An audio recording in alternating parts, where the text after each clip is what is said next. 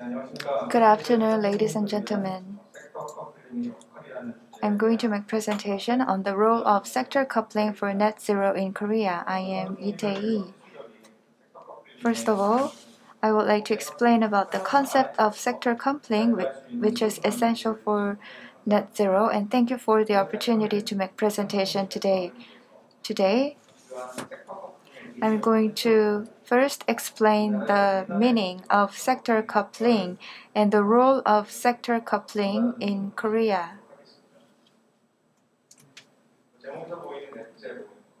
So on the title, you see net zero in Korea. By 2050, Korea should make the greenhouse gas emission zero. Now it's 100 million tons of carbon emission, but it has to be reduced to zero. The key element is electrification to achieve net zero. Here, electrification is the key to carbon neutrality because the electricity supply will be integrated centered around renewable energy. So far, our energy sector has been centered around upstream sector like oil and gas, and it the energy produced from oil and gas was converted to the secondary energy and then transmitted to buildings and industries or consumers receive the supply of the primary energy energy system can be classified into various sectors. From energy sector perspectives, we have the energy sector, including oil and gas.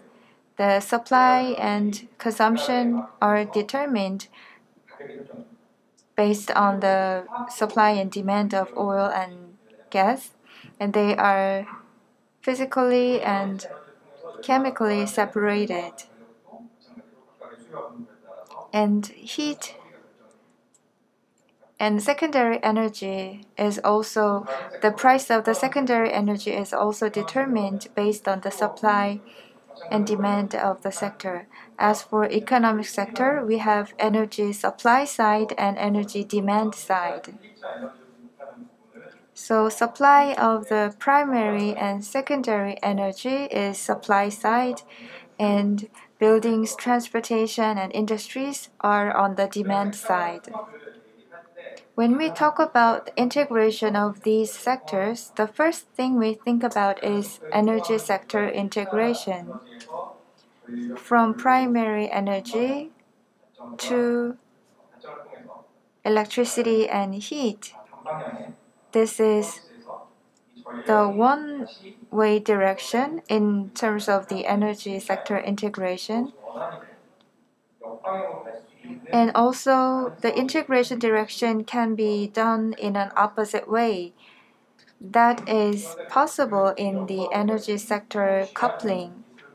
Here, we can use P2G technology to send electricity back to uh, hydrogen and hydrogen through electrolysis, water electrolysis. If you think about the iteration of energy coming from the primary energy to the sources of the energy, often it reduces the efficiency. But renewable energy has significant meaning in sector coupling. For example, if we convert the surplus uh, renewable energy into heat, that is very useful. And also, when we need electricity, we can use primary energy and convert it into secondary energy. If electricity is oversupplied from secondary energy sector, then it, it can be the surplus energy can be stored in the form of gas or in other forms. And there are many energy storage systems. ESS stores energy into in the form of chemical energy and P2G stores energy in the form of hydrogen. So carbon captured from oxygen can be stored and converted to methane.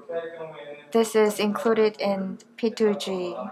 So the captured carbon is converted to methane, which does not emit greenhouse gas.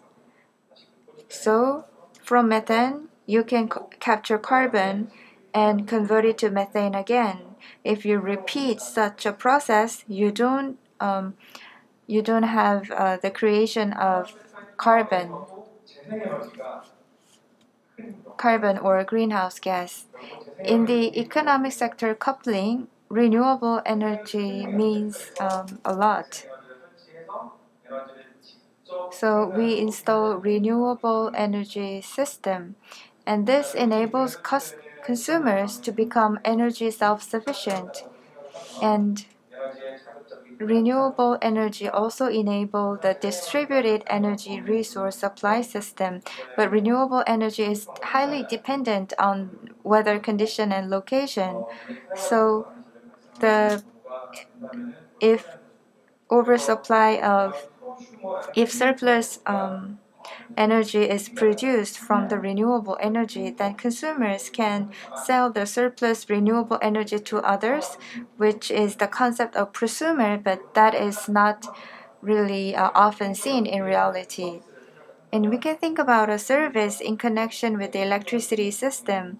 We can store energy, and if necessary, we can send the energy to the electricity system under the economic sector coupling, we can think about V2G, vehicle to grid technology. Electric vehicle is equipped with uh, high specification batteries. And by using the surplus energy from the electric vehicles, we can supply energy to the sector that need such an energy. Sector coupling encompasses both uh, economic sector coupling and energy sector coupling. Our research institute has worked hard to explain the meaning of sector coupling, and the question we receive is what is the sector? What kind of sector do you mean? And we receive a lot of questions. That's why we created this term, sector green uh, energy integration to explain about the concept of sector coupling. Germany is the country that is most um, proactive and in adopting sector coupling concept.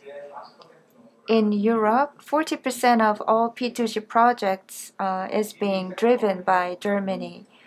There are two purposes for Germany in doing so. The first purpose is that it wants to observe the VRE through sector coupling. As of 2019, 43% of the power generated in Germany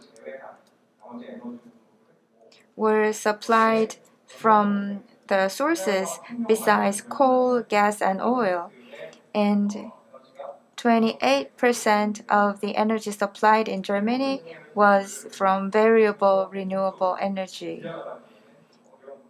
But in reality, it is difficult to uh, observe more VRE in the current system. So in Germany, they have to deliver the electricity generated from uh, the North Sea wind farms to the south part of the country but that has not been easy. The electricity created from the north should be transferred to the south part of the country, and that requires energy storage and effective transportation of such energy. That is why they created a lot of projects like uh, storing uh, the energy or creating methane from hydrogen. And Germany is one of the countries that have the highest target of greenhouse gas reduction. Germany has actively supplied renewable energy However, the greenhouse gas reduction effect has almost disappeared with the closure or shutdown of nuclear power plants. And if you look at the portion here, it's twice the level of Korea. That's final energy consumption fuel. So the conventional energy sources are used for heating uh, for buildings, so it will not be easy to replace all the um, natural gas with renewable energy. That's why Germany is taking P2G method to create carbon neutral um, energy source. Then, do we need sector coupling? And if we need sector coupling, what would be the uh, use? What could be the useful use case? We can use sector coupling as a way of achieving decarbonization, like overseas countries, but Korea is different from Europe. Korea operates the electricity system without interconnection. That means that we have no other way to supply uh, electricity if there is uh, a problem with the electricity system. So far, we thought that we have to supply the primary energy at rational price continuously, but we need to secure electricity security. Last year, in collaboration with IEA, we conducted a research on Korea electricity security, and um, the research report proposes that we need measures like P2G or P2H. It is desirable to see an increase in renewable energy, but if the renewable energy increases um, out of control, then that will pose problems in the electricity system. As you see here, it has high variability. And when the renewable energy is expanded and in order to operate the electricity system in a more stable manner, we sometimes have to curtail the output of renewable energy. Because if there is surplus uh, energy from supplied from renewable energy, that could lead to dangerous situation. In the case of Ireland, they restrict the level of non-synchronous penetration um, to 65%.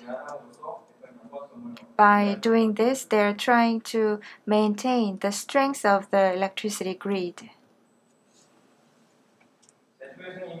In Jeju Island, there are a lot of um, cases of curtailment, including ppm and btm. It will be amounting to almost 60%.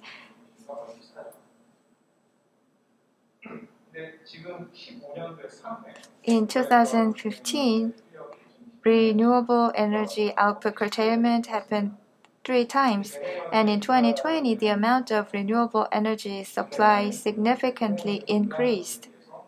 Compared to the level of supply increase, recently there have been a lot of curtailment of renewable energy output. So the oversupply of renewable energy led to the curtailment of the output. When we mix salt in water, we see a certain amount of salt um, sinking at the bottom, like that. We need to improve the electricity system in a way that they accept renewable energy in a more efficient way. And sector coupling is an effective solution in this regard.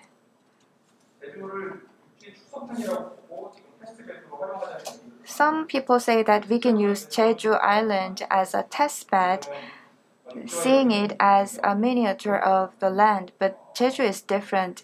Jeju has the capacity to use electricity um, in a way that is similar to the, the European way. And during daytime, the demand for energy is relatively low. But in Jeju Island, actually the land side uh, will be more uh, affected by the renewable energy.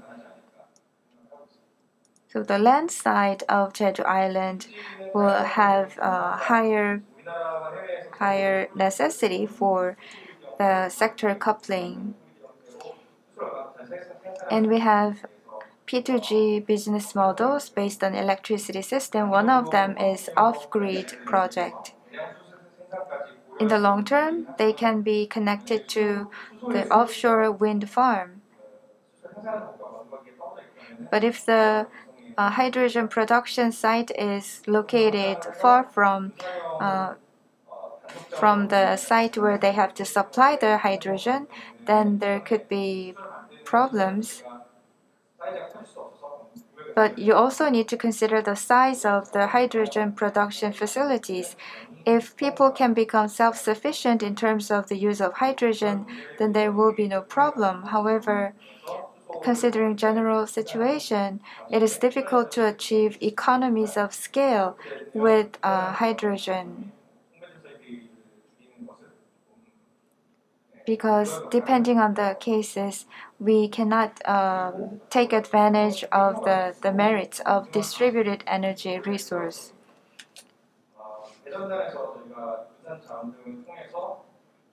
And also we need to consider using the aggregators in order to strike the balance between supply and demand.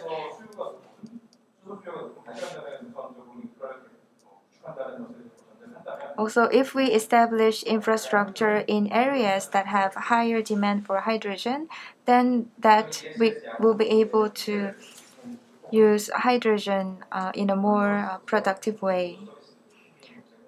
Also, we can consider providing ancillary services.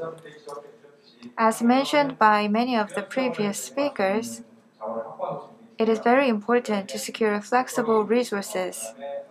So far, battery and pump uh, have been used a lot to ensure flexible resources, but it's important to respond to seasonal uh, seasonal characteristics of the energy supply. That's why people talk about P2G, but we have to consider underground gas storage. In the case of Europe, they have the spaces to store hydrogen deep under the ground, but Korea does not have such a ground structure. So for Korea, it costs a lot to store and use uh, hydrogen deep under the ground. So, industries may need to be able to consume hydrogen directly. And we will have to adjust the amount of inflow of input of hydrogen and it will be important to strike the balance between the supply and demand of hydrogen. In Korea, we reduce the power output at nuclear power plants during holidays.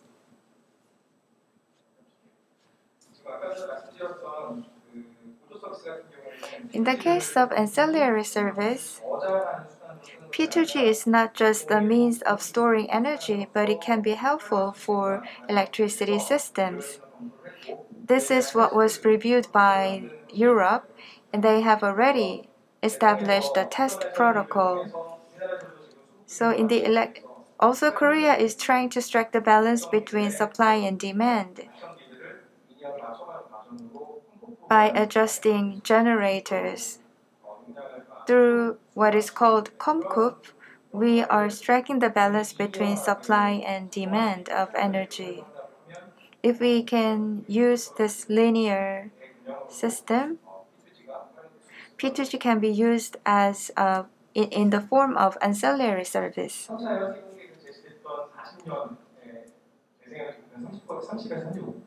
According to our plan, we were supposed to use renewable increase the portion of renewable energy to 30% by 2040. That means that the solar power will be used uh, three or four times uh, larger than um, the wind power. During daytime, the solar power will increase, so we may probably see uh, more surplus energy produced from solar power.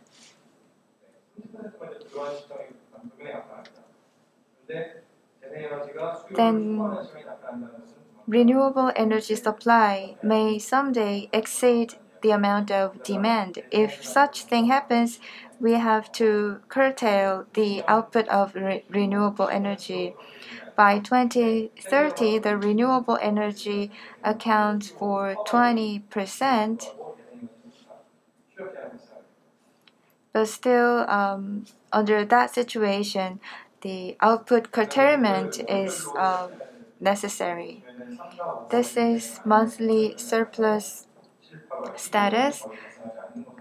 Surplus uh, occurs especially a lot during March and April.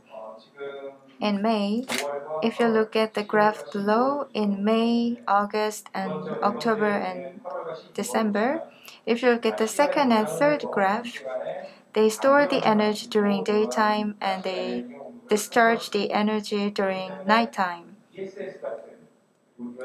So ESS is required to minimize the curtailment of the output. But during May and October, even if you store the energy during daytime, it will be difficult to discharge the energy during nighttime. So, if the blue color, the demand increases,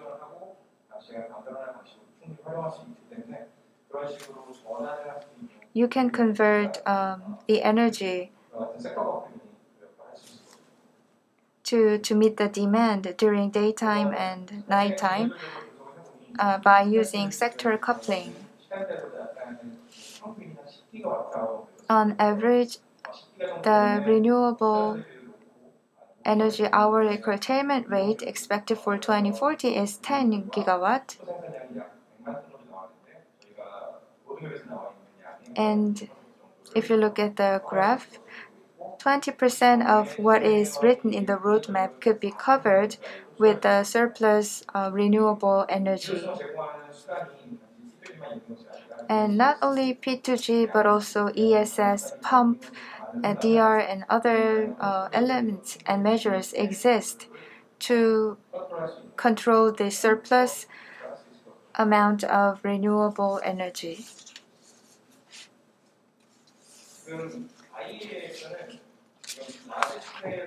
In IEA, large scale network smooth seasonal variability is being discussed. And that is from phase 5, which means that supply of renewable energy reaches 50 to 70, 60%. But in the case of Korea, from phase two, we need interconnection between countries, but that is difficult to achieve in Korea. Then we will have to move towards the, the measures uh, written above in the table. Compared to Europe or other countries, we will have to secure the measures or tools to respond to seasonal uh, change in the demand and supply of uh, energy. Roadmap of sector coupling. Sector coupling is not uh, highly commercialized and sector coupling costs a lot. So we may use heat. So we will be able to adopt P2H first. We have large scale uh, collective energy system. So P2G can serve as a distributed energy uh, system. In terms of uh, institutions or systems, we may consider DSO or TSO operating system. As for integrated energy system, P2G does not only refer to electricity but also hydrogen and methane. In the end, we will need integrated energy system. Now we need interconnecting between different energy systems.